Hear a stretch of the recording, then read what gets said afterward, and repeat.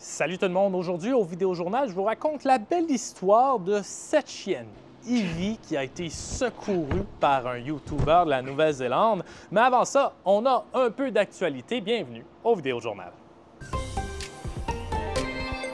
On a beaucoup parlé au cours des derniers mois, des dernières années, du projet de la minière albertaine Sio Silica dans le sud-est de la province. Son projet a été rejeté par le gouvernement provincial cet hiver, mais voilà que la mine prépare une nouvelle demande pour lui permettre l'extraction du sable de silice dans la région.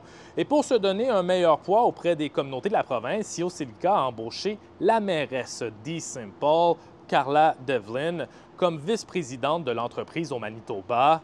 Le PDG de Silica croit qu'ils doivent mieux faire pour mieux communiquer ce qu'est l'ensemble de ce projet aux Manitobains et aux gens des différentes régions. Son projet qui a été rejeté en février avait soulevé son lot d'inquiétudes, mais d'objections aussi de la part des communautés touchées. Ailleurs dans l'actualité, il y a une quarantaine de manifestants pro-palestiniens qui se sont pointés hier devant le pavillon israélien pour le festival Folklorama.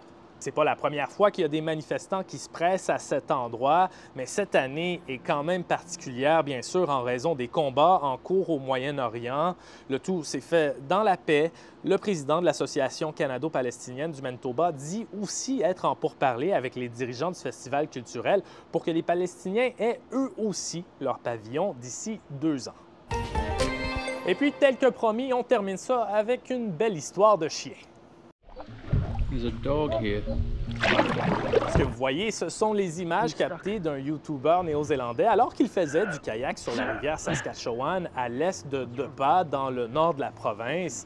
La chienne Ivy, à 14 ans, a été retrouvée coincée sous un gros ton d'arbre, dans de la boue et de l'eau, complètement épuisée.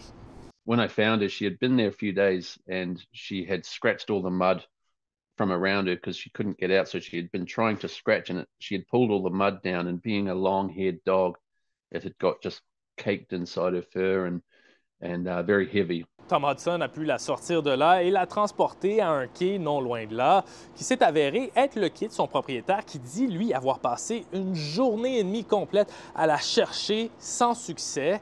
Les deux ont donc été réunis. C'est donc une histoire qui finit bien pour une fois. Cependant, le propriétaire dit qu'Ivy n'ose plus s'éloigner de la maison depuis l'incident. Alors voilà, c'est ce qui complète ce vidéojournal. On se retrouve demain pour un autre vidéojournal. À la prochaine.